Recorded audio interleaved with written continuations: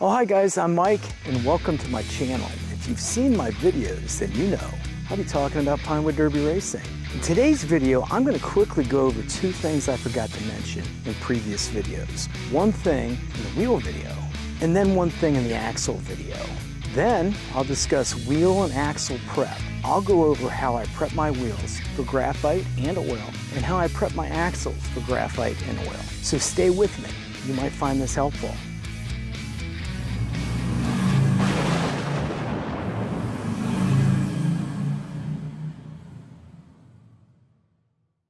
Okay folks, so before I get real involved in this prep video, there are a couple things that I missed discussing in my previous two videos, the wheel video and the axle video.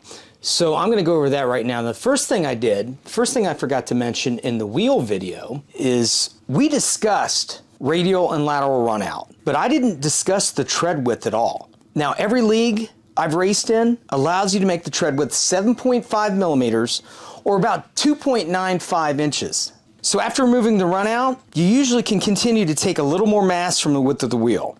So here's how I do it. Now on the front wheel, I'll start by removing these tread bumps. Now once they're removed, I'll turn my tooling around and I'll start removing mass from the inside tread edge until I get it down to about 0.300 of an inch. Now I stop there, even though I can go smaller, I stop there because that gives me the chance to repair a wheel later if somehow I get a nick in the wheel. Now the back wheels are cut a little different. Because of the orientation of the rear wheels, they ride on the inner edge rather than the outer edge like the front wheel. As a result, these tread bumps don't even touch the track, so I won't remove them. Now the reason is because when the leagues measure tread width, they will include the tread bumps. Therefore, I can actually make this tread a little thinner.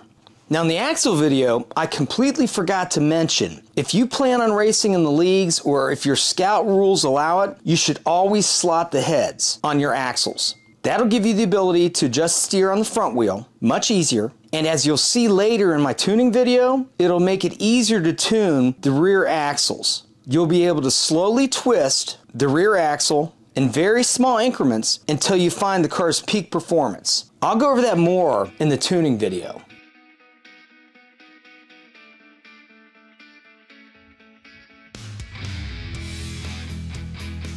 Okay, so now we're moving on to the prep. I'm going to start here with the wheels. Now whether I'll be using oil or graphite, my prep begins the same. I'll polish the treads first to remove any flashing from the manufacturer or any flashing created when I machine the wheel. I'll start with sandpaper, 1000, 2000, 3000 grit on the tread surface and then the inside edge. Then I'll move on to a plastic polish. This is the Turbo Derby number two. Now these pod checks you see, I also get them at Turbo Derby but you should be able to find them on my webpage also. Now it's very important to keep the inside edge very sharp on the rear wheels and the outside edge very sharp on the front wheel because of their orientation to the track. So now that the treads are done, I'll do the same thing to the inner hub. But rather than using this craft stick, this popsicle stick, I'll use the cotton end of the Q-tip. Now, after polishing the outside hub, I'll turn the whole wheel around and I'll use the number one and number two wheel prep from Turbo Derby on the outer hub until they shine.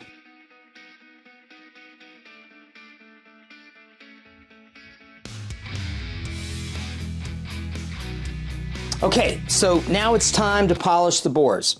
The stuff I use is a three-step process. I'll start with the number one, which is a more aggressive abrasive. I'll put it on a Q-tip stock that has a similar diameter as the bore. Now lately the Q-tip stocks I've had have been a little large. I've had to sand them down a little bit. And I'll go in and out, in and out, in and out until I've removed all the imperfections. Now once I've confirmed the imperfections are gone, I'll move on to step number two.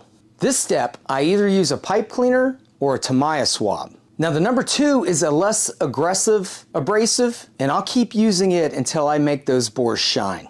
Now it's probably important I mention the three-step process, the number one and the number two are both abrasives. The number three is actually a wax or a sealant. So after I use the number one and the number two, I'll clean the wheels thoroughly before moving on to step number three. I'll scrub the treads and I'll use a pipe cleaner in the bores. That way I'm making sure that when I apply the step number three, the wax or the sealant, it'll bond well to the plastic.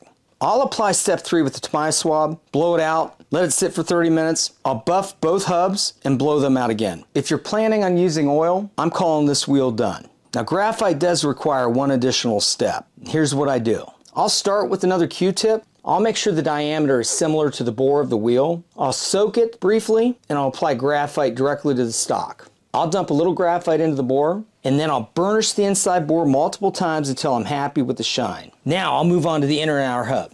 For the hubs, I'll use the cotton end of the Q-tip. I'll soak it, add some graphite, and I'll burnish both hubs until I'm happy with the shine. When I'm done, I'll blow it out, put aside, and I'm gonna call that wheel done and ready for assembly.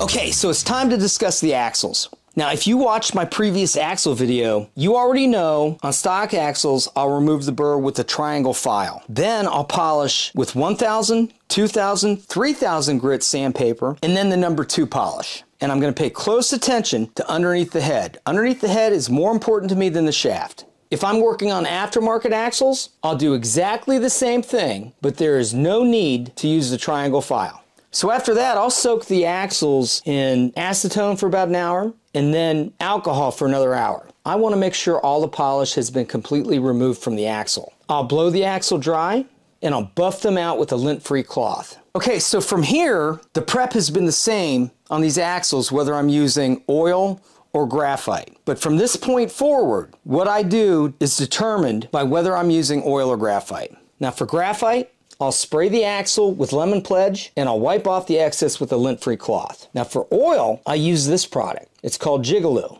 It's a silicone spray. The goal is to create a pneumatic bearing between the wheel and the axle. Now that's accomplished by getting the oil to bead well. Now the number three we used on the wheel is a sealant that'll make the oil bead. The Jigaloo is the best I've found to make the oil bead on the axle.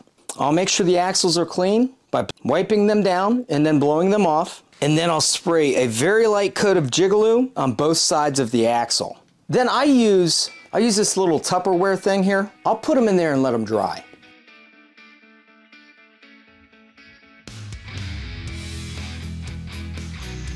So guys, thanks again for watching my video. If you've made it this far, I'd have to assume that you like these little cars just as much as I do. So please like, share, and subscribe. I'm gonna pick a name at random, and I'm gonna send that person a set of prepped wheels and prepped axles. And also, watch out for my next video. I'm gonna do a, a video on aerodynamics. So until then, we'll see you.